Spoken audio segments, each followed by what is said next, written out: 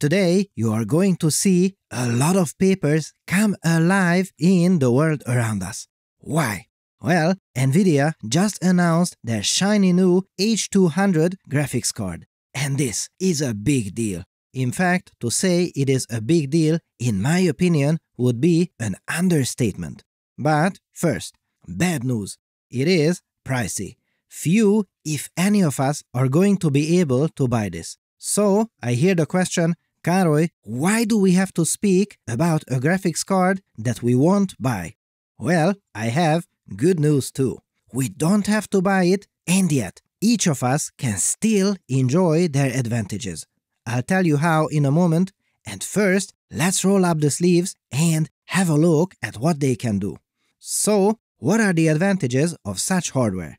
Well, it can simulate a landing on Mars, power supercomputers, or run a fusion reactor simulation.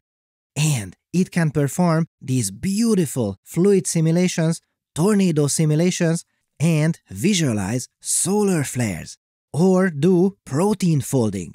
This leads to a better understanding of the building blocks of life, and it is already being used for creating new kinds of medicine. Something that was so difficult we always thought was only going to happen in the future, and now it is here. Of course, these graphics cards also power video games. And what is this here? Dear fellow scholars, this is 2 Minute Papers with Dr. Károly Zsolnai Fehér. Okay, kidding. This is an aerodynamics and acoustics simulation around this new car. New hardware can typically do more intensive tasks than previous generations, or it can do the same tasks and consume less energy like it is doing here, something that we have to think about more and more in the future. You see, the jump from GPT-2 to GPT-4 requires orders of magnitude better hardware. Consider this. GPT-2 had 1.5 billion parameters. GPT-3 175 billion parameters, a jump of more than 100x. Then GPT-4 more than 1.5 trillion parameters, a 1000x difference. This requires tons and tons of compute. And today, specialized versions of it already exist. Get this, where scientists created a chemistry assistant that can not only answer your burning questions about metal organic frameworks, but it also learned to predict crystallization outcomes as well.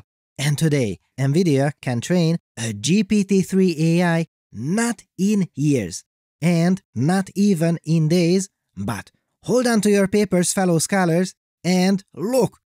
Less than 4 minutes? What? Oh my goodness! Also, stable diffusion in less than 2.5 minutes.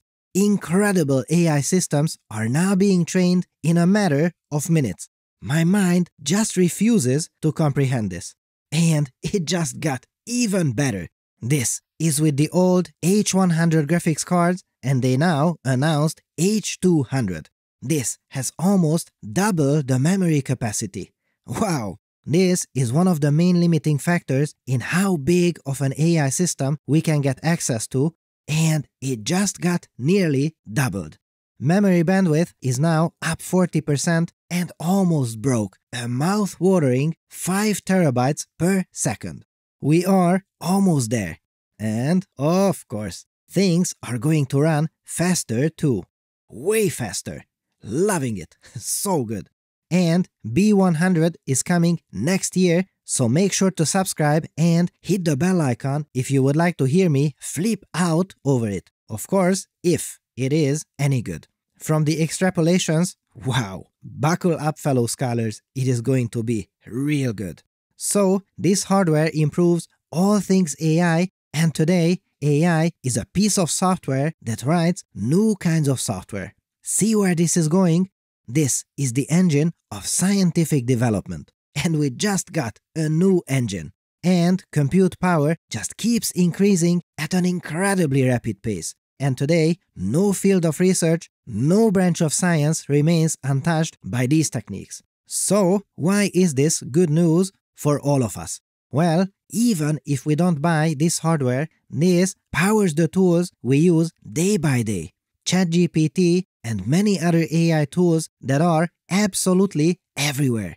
I am also happy to see Lambda, our long-standing partner, showcased here. Great job!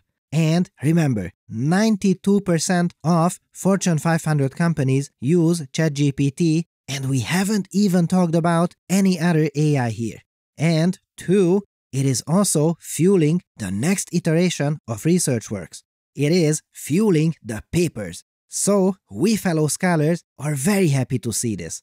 And one more thing about increasing hardware capabilities that put this image into perspective. In AI research, there is, or perhaps at this point, I can say there only was, two schools of thought. One, Richard Sutton argues in his landmark article by the name The Bitter Lesson that AI research should not try to mimic the way the human brain works. He argues that instead, all we need to do is formulate our problems in a general manner so that our learning algorithms may find something that is potentially much better suited for a problem than what our brain is doing. And he argues that the best performing learning techniques are the ones that can leverage computation, or, in other words, methods that improve significantly as we add more compute power. To the other school of thought, people tried to encode lots of human knowledge of strategies in their Go AI, but did not have enough compute power to make a truly great algorithm. And now we have AlphaGo which surprisingly contains minimal information about Go itself, and yet it is better than the best human players in the world. So, what does all that mean? Well, in other words, algorithms are extremely important. I don't need to argue for that on this channel, but never forget, compute is just as important. And this graphics card is a metric ton of more compute, turns out, for all of us even if we don't buy it ourselves. What a time to be alive! If you're looking for inexpensive cloud GPUs for AI, Lambda now offers the best prices in the world for GPU cloud compute. No commitment or negotiation required. Just sign up and launch an instance. And hold on to your papers because with the Lambda GPU Cloud, you can now get on-demand H100 instances for just 199 per hour. Yes, 199. And they are one of the first cloud providers to offer publicly available on-demand H100 access. Did I mention they also offer persistent storage so, join researchers at organizations like Apple, MIT, and Caltech in using Lambda Cloud instances, workstations, or servers. Make sure to go to lambdalabs.com slash papers to sign up for one of their amazing GPU instances today.